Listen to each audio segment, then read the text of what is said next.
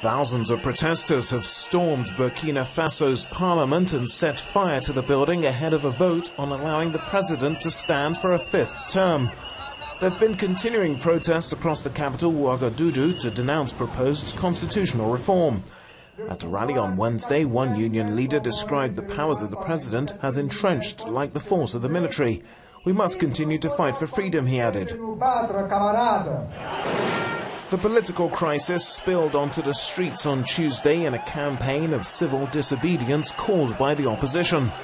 The National Assembly was due to debate changing the constitution to allow President Blaise Compaoré to stand again rather than step down next year.